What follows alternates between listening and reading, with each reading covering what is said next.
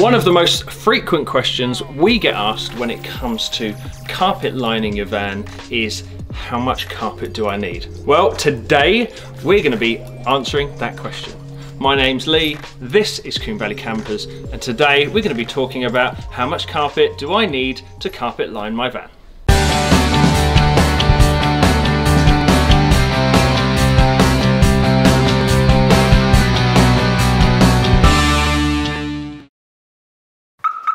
Today we're going to be concentrating on a short wheelbase VW T6. This van in particular belongs to a long time friend of the company and previous customer Kyle and he's basically built the vehicle using all of our videos. You might be able to spot some of the nice parts such as a Rusty Lee swivel seat base, we've got a carpet set up the front from Heritage Parts. We've got sound deadening throughout from Dodo Mats and we've got some ply panels that we recommend as well. And he's got to the stage where he needs to do the carpeting. Now we thought we'd take this perfect opportunity to show you guys how much carpeting you actually need. When the vehicle was bought by the customer, it was lined in this grey lining that you can see here but the owner would like to completely change the look of the vehicle and he also needed to rip the carpet off to insulate and sound deaden the vehicle to his liking as well. So what we're going to do today, first off, is rip out all the old grey carpet lining from everywhere that you see. Then we're going to strip out the panels we need and we're going to start carpeting straight away. It's not going to be a full how-to carpet video because we've got one of those already. It's actually one of our most popular videos and you can check it out in the link down below. And we've also carpeted ply panels as well. So it's not going to be a how-to on ply panels. Again, there's a video down below. But what we are going to do is run through each part of what carpeting you need and how much it's going to take. And fortunately, Valley Campers now sell carpet lining. So you can buy all this carpet from a link right up here too. So we're going to be covering all bases for you today. Once again, not going to be a full video in terms of how to, but if you want to know exactly how much you need for your van, click on this time down below and then you'll be able to see what carpet you need for your van. Let's get on with it.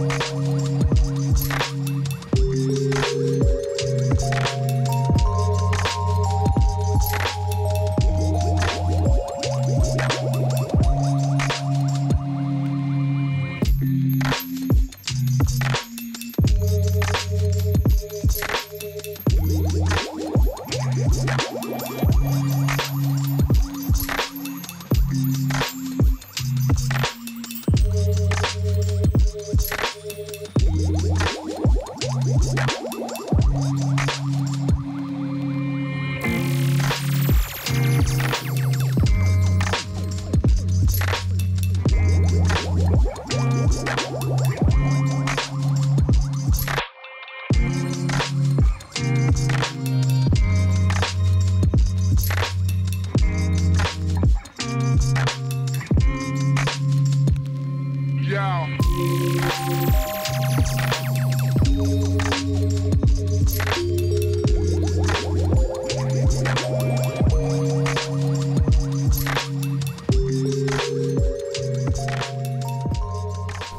are now ready to start the carpeting.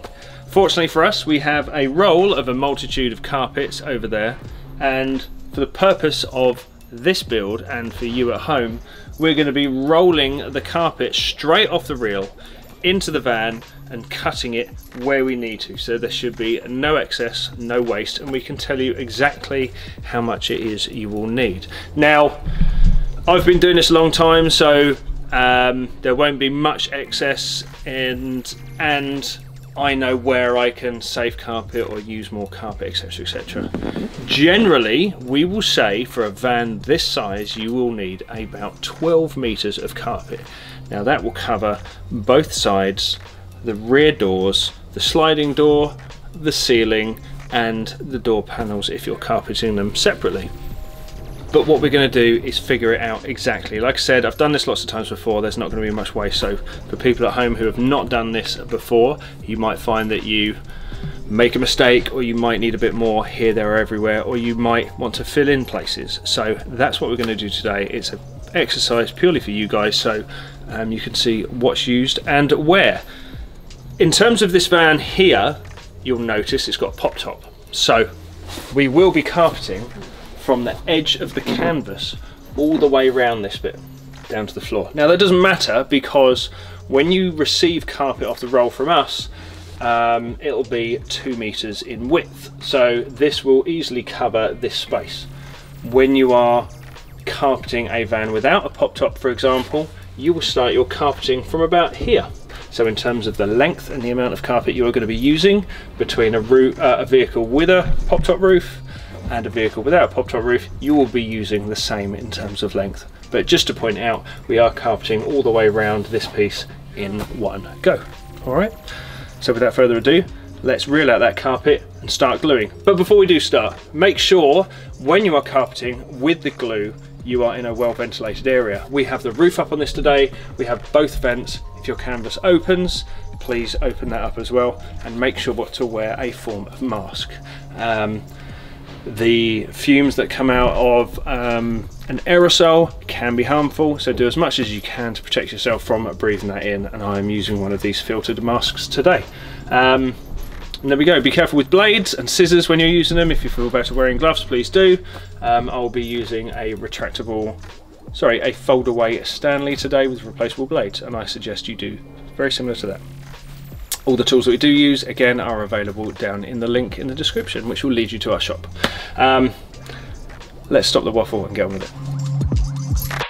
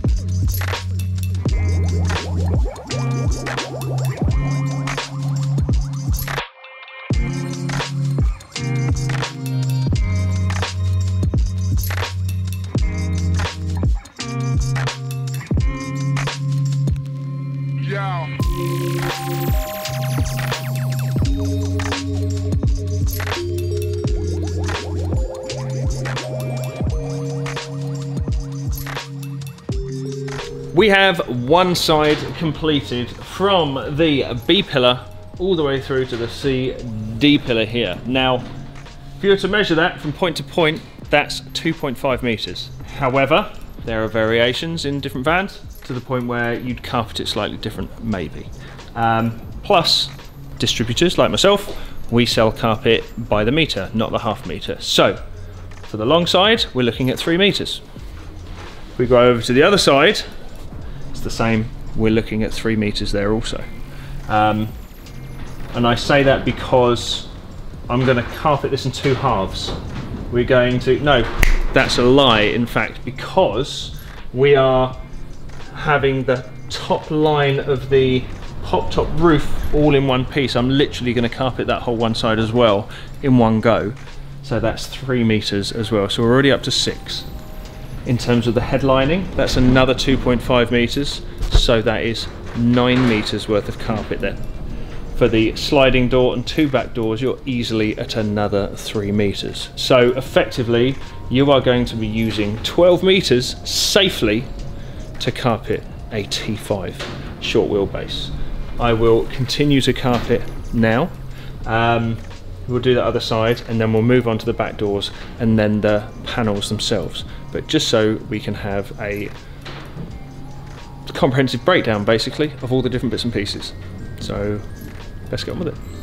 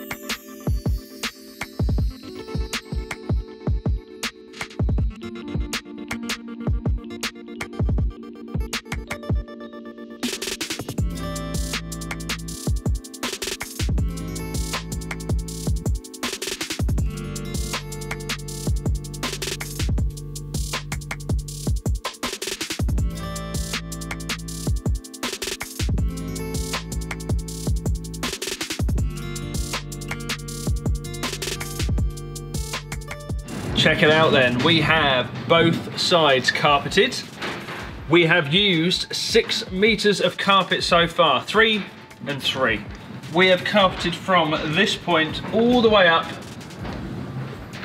and down the bottom there in one piece. Now, some of you might say it's a bit of a waste of material. However, this large piece that we cut out from this sliding door can be used for potentially three panels. We can, we can use it to cover the panel for the sliding door itself, or we can use it to cover the two smaller panels, or even the rear barn doors, or even the tailgate piece. So we're not just uh, taking the best meat off the off the carcass. We're going to pick every little bit off until we've used everything up, and that's what we're going to do in terms of the carpet. All of these other offcuts that are long and thin, we can cover the front part of this headlining there, for example, and the same across the back here as well. So we are utilizing every bit. So we've got those three meters. In this van, we will be using three plus three to cover the whole headboard. So if we were to do, do a normal short wheelbase, we would say 12 meters. In a short wheelbase with the need to cover the boards for the pop top, I would say add another three for certain. Um, but what we're going to do now is, um, or there's two things we've got left to do really. One is we're going to cut out these shapes inside the metalwork. You don't have to, like this can keep all your um, sound deadening in and then you just mark the holes and punch through the holes where you're going to mount your ply panels and the same for here, here and here as well. So you can cut them out um, but what we're going to do now is go over to the table and we're going to peel off um, carpet, lay it on the table and lay out all of our ply panels and cover them one by one. And then by the end of this, we will have carpeted ply panels for the entire van and then you can see exactly how much you need.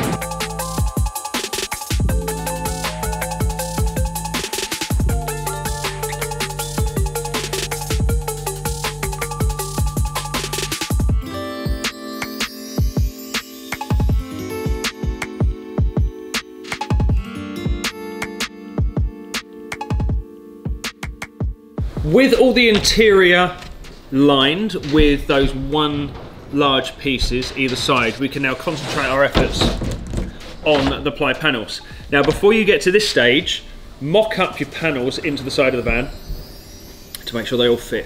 And then the other important thing is just to mark which side you're carpeting. Because with a panel, such as this one here, which is the long side, goes about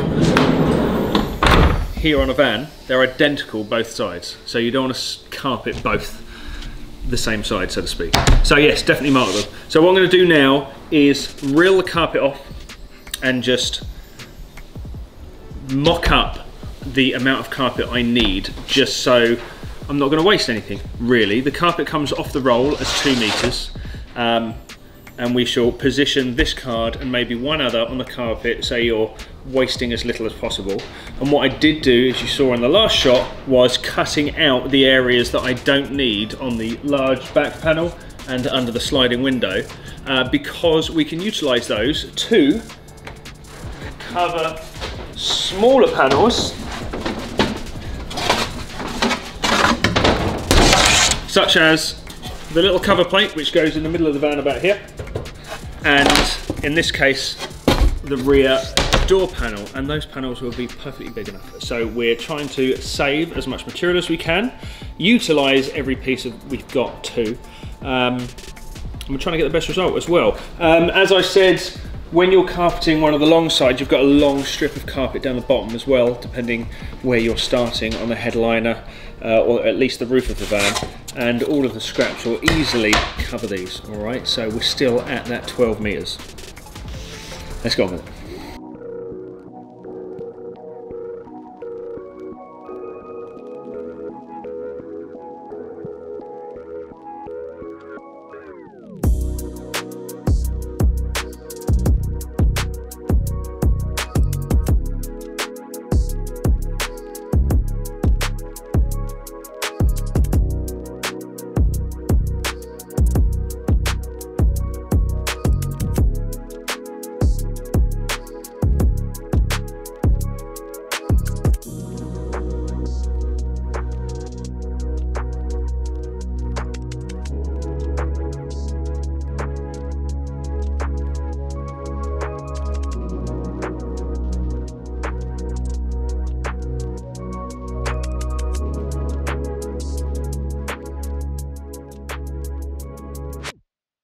We have now made enough carpet templates for our panels and that is using as many of the scraps as possible so cutouts of the panels we've done etc the next time you see all these panels they will be carpeted and they will have these invisible trim clips in them and they just slot in.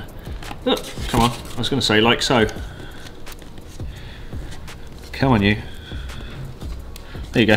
They slot in like that and what that will do is enable this carpet to lay on top of that.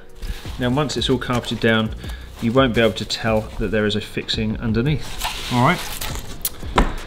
So yeah, that's gonna take me a couple of hours, so I will save you the hassle of watching me do that because we have already done it in a video, like I've said before. Um, I'll trim around the window, I'll trim around the top, and then like I said, by the next time I see you, all of that will be completed and we'll be popping in the new panels. See you then. It is a new day. We have carpeted all of our panels.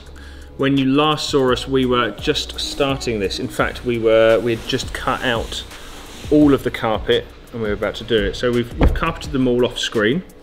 And um, the last thing to do before we pop them all in is to fit the trim clips. And these are known as hidden or invisible trim clips. And what they are designed to do is fit in the holes of the panels and then when you pop them in the van into the supplied sort of trim holes um, you won't be able to see them because they will fit underneath the carpet lining and let me show you how to do that.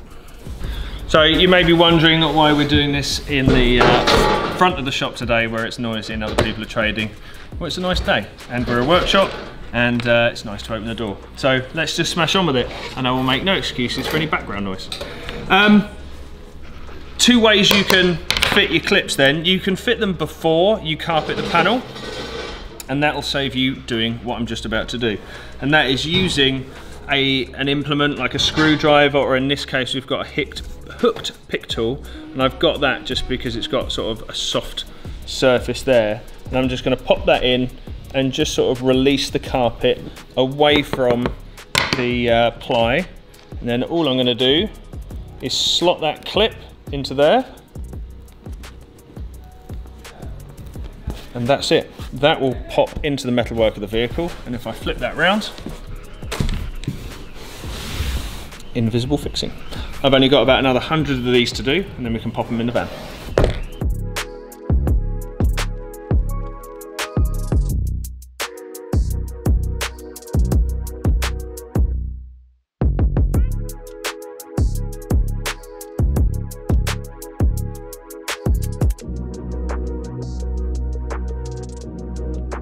As a bit of a tip for the top, those things start to rag on your fingertips after a little while of doing them. So what I've got is just a set of adjustable grips there. Just makes your life a little bit easier. And you can use whatever you want, or even just put a pair of gloves on maybe. But yeah, after a hundred or so of these, you start to feel it a little bit.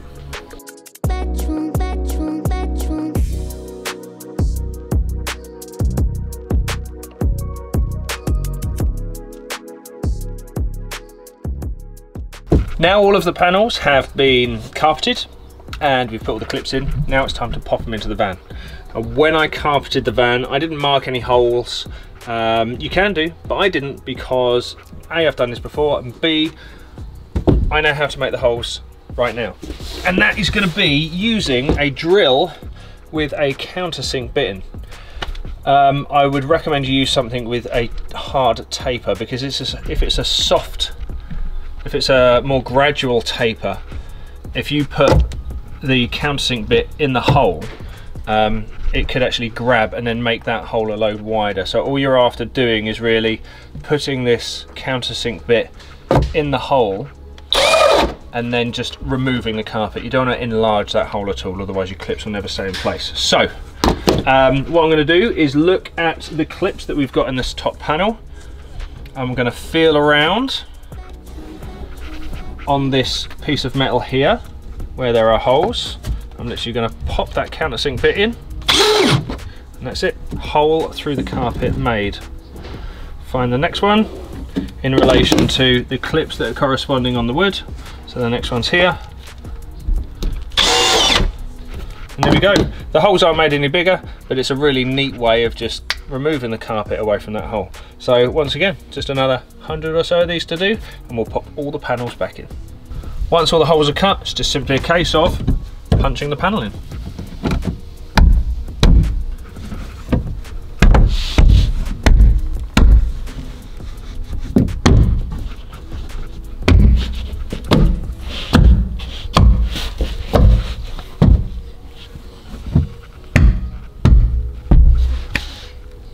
Easy as that. Again, just another five or six panels to do.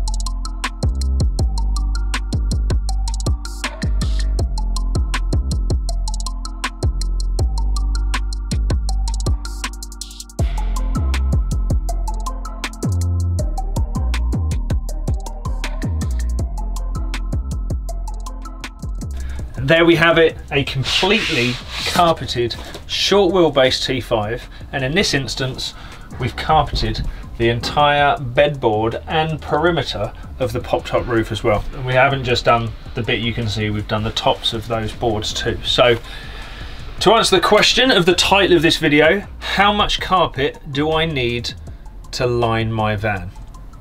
As a rule of thumb, if you've got a short wheelbase van such as a T5, T6, a Vivaro or um, a Transit Custom, you need 12 meters of carpet off of a two meter roll. Now, if you were to come to our website at www.combevalleycampers.co.uk, um, we sell the carpet by the meter um, off a two meter roll. So if you were to click 12 meters, then you get 12 meters off a two meter roll. And um, as a good rule of thumb, for every metre of carpet you get off the roll, you'll need one tin of spray adhesive, the high temperature spray adhesive which we showed you earlier.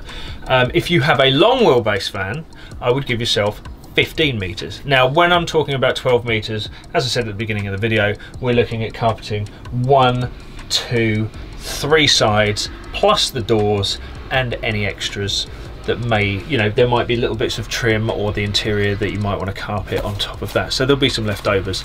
There are ways that you can conserve the carpet, such as behind me. If you were to carpet the whole wall in one go, you can then cut out that area, use that bit of carpeting for some of these smaller panels or even the back door panels if you've got barn doors. It's all about conserving it. If you've got a long side like this, um, without the one piece that you want to carpet for the high top you can get away with cut, uh, carpeting one the, the, rear half of this side and then the sliding door panel and then you can conceal your join. Again if you want to know how to carpet your van we've got another video for that. Link is in the description and the same with the panels as well. So Short wheelbase, mid-size van like this, 12 meters, long wheelbase, 15 meters for the sides, the ceiling and all the doors. If you've got a crafter or a sprinter or a boxer or one of the larger size vans, I can't give you a definitive amount of carpet because we've got high tops, medium tops and regular steel top vans as well. So it, eh, my recommendation would be is to measure from the B pillar through to the back of the van and then give yourself another half meter or to the whole meter. So if you're from, from the B pillar to the back of the van is say 3.2 meters, then give yourself four meters, mainly because most retailers such as ourselves will sell it by the meter anyway. All right, um, and the same goes with uh, the headliner as well. Front to back, measure that, give yourself to round it up to a meter. So you'll always have a bit of excess. Um, and that's about it really.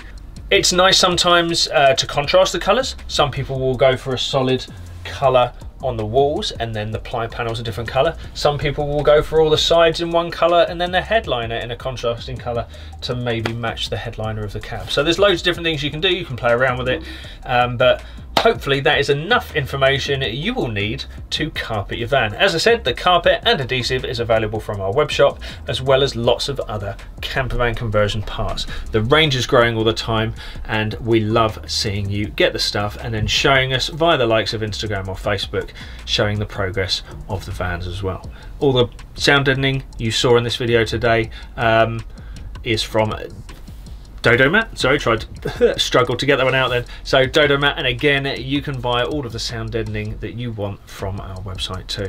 But once again, thank you very much for joining us. I hope the information is exactly what you were after, and we'll see you next time on Combe Valley Campers. Thanks very much. Bye bye.